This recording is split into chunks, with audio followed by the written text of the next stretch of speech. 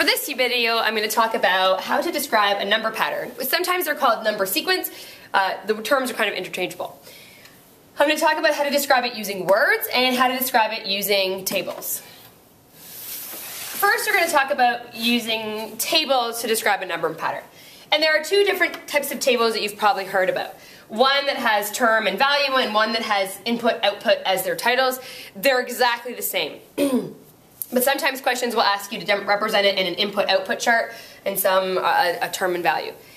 Uh, the term or the input, it's just talking about which the the number in the sequence. So is it term 1, term 2, term 3, term 4, term 5? Is it term 712? And the value just tells you the va number value of that term. So the value of the fourth term is 8. And the same thing here. The output of the, uh, the, the the, uh, the fourth input is 8.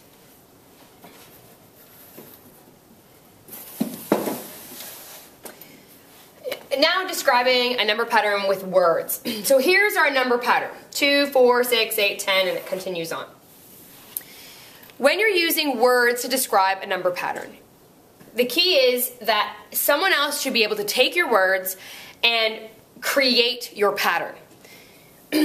Okay, so the first thing is you need to tell them where to start.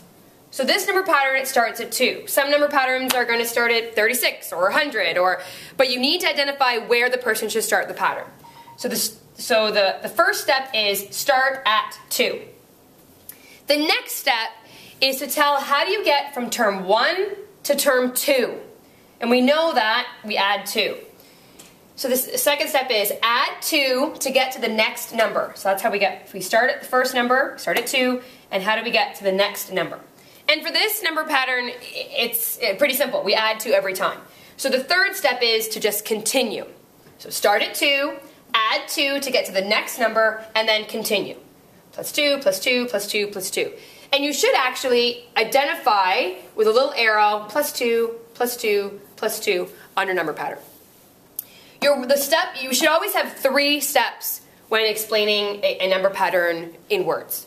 One, two, and three. I'm going to give you another an example where the step three is not a continue, where there might be um, uh, where not might uh, where the second step isn't just to add or do the same thing over and over again.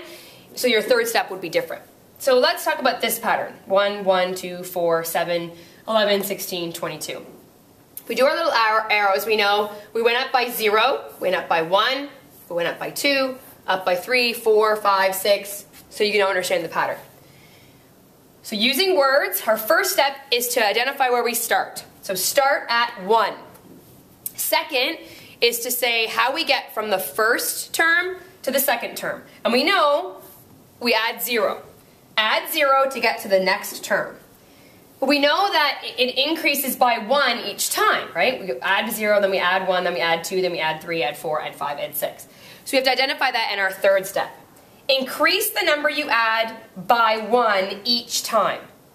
So I added zero the first time. I'm going to add, increase that by one, so I add one. I'm going to increase that by one again. I add two, I add three. I put this in capital letters here to focus the, you know, this is the most important detail. And I want the person who's reading my description to really focus on adding by one. So I put it in, in capitals just so they know uh, the most important detail. So that's how to describe uh, number patterns or sequences using words or tables.